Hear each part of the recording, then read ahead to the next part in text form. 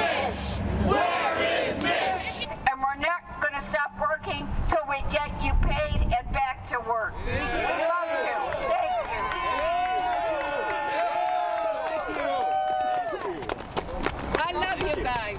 Thank you. I'm not going to stop working. I'm not going to keep not talking to my colleagues, and I'm going to do everything I can to get this government back so you're stuck with me, but he did give me. The American people need to be put first. We cannot. You know, Leader McConnell has not, you know, put us first. He's played political games with people's lives. And, you know, I understand that many of my colleagues are millionaires, but not all of us have daddies to call to bail us out. Not all of us have these savings accounts. These are real people that provide services to our residents.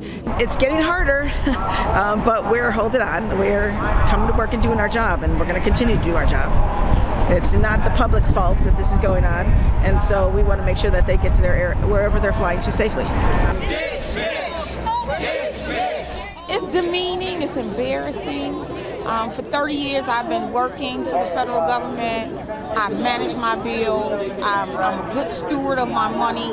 But for somebody else to begin to dictate how I will have to live is not good. I'm, I'm angry about that. Ditch Mitch! Ditch Mitch! Ditch Mitch!